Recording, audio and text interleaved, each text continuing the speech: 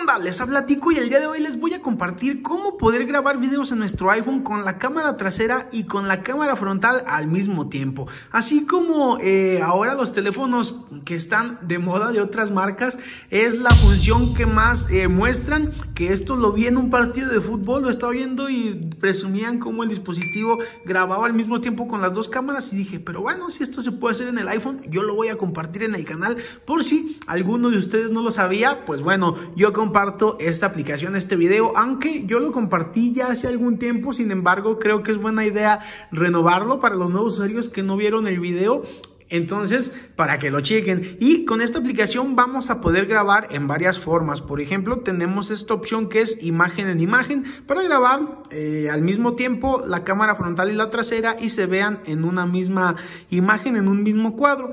Pero también tenemos la opción de pantalla dividida para que se vea la cámara frontal, por ejemplo, aquí abajo y arriba eh, la, la cámara trasera. Y tenemos la otra opción que sería de separar, que va a grabar eh, en un video la cámara trasera y en otro video la cámara frontal. Así es, hasta eso puede hacer y está de maravilla. Y lo mejor es que, por ejemplo, yo aquí voy a seleccionar imagen en imagen y si nosotros presionamos acá, podemos seleccionar que la cámara trasera se vea eh, el ultra wide o nada más wide. Como pueden ver, yo tengo el ultra wide y también quiero que se vea la de selfie. Pero ustedes incluso pueden seleccionar nada más las dos cámaras traseras. Pero pues obviamente aquí lo pro es que se vea lo de atrás y lo de adelante. Yo tengo en ultra wide y en selfie. Luego de esto ya me salgo y aquí yo ya puedo estar grabando un video.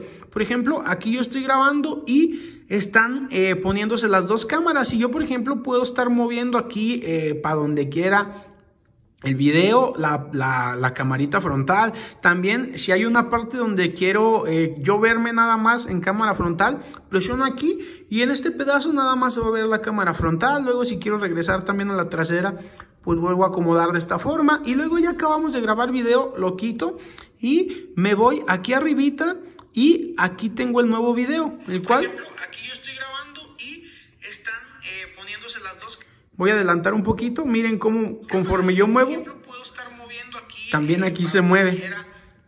El video, la, la,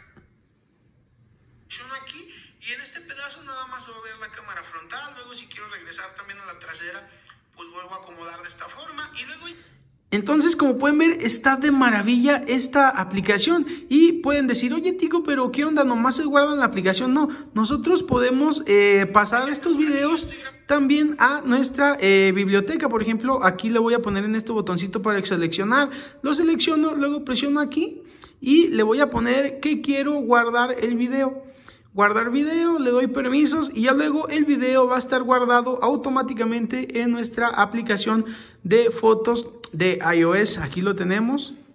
Y ahí está, como pueden ver. Entonces es una aplicación que está de lujo, pero ¿cuál es la app? Pues bueno, esta app se llama Double Take by Filmy Pro. Y pueden encontrarla por este nombre en App Store o en la descripción les voy a poner el link para que lo hagan directamente. Y lo mejor es que es totalmente gratis. Pero bueno, por el momento eso es todo. Yo soy Tico, les mando un abrazo, espero que estén súper bien y nos vemos en el próximo video. Y chao.